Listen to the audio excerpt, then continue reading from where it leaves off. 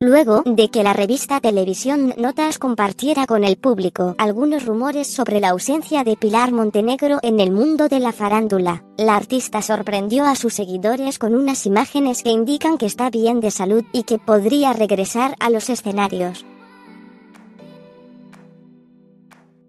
El mismo medio publicó hace unos meses que la razón por la que la exintegrante del grupo Garibaldi se había alejado de los escenarios era porque padecía una enfermedad llamada ataxia que le impedía moverse normalmente.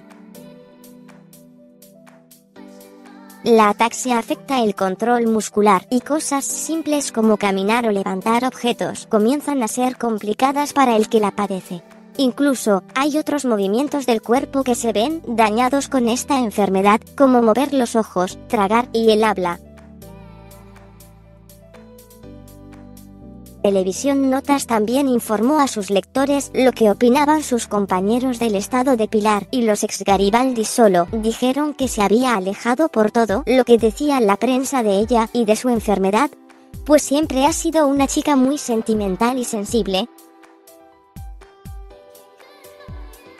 Sin embargo, parece que Pilar está más recuperada. Pues en estas fechas decembrinas subió dos fotografías a Instagram en las que se puede ver muy sonriente.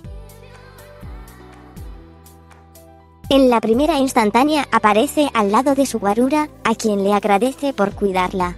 Como sufrimos, gracias por siempre acompañarme y cuidarme mi querido Tony. Feliz Navidad atrasada, mis adorados. Los amo.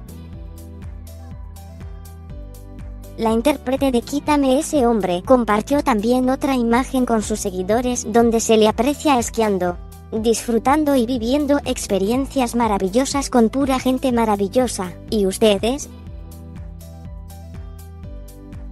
En ambas publicaciones sus fans comentaron que les da gusto verla repuesta y feliz, aunque también le dijeron cuánto extrañan su música y su presencia en los escenarios. ¿Qué opinas de la supuesta enfermedad de Pilar? ¿Será un invento o ya la superó?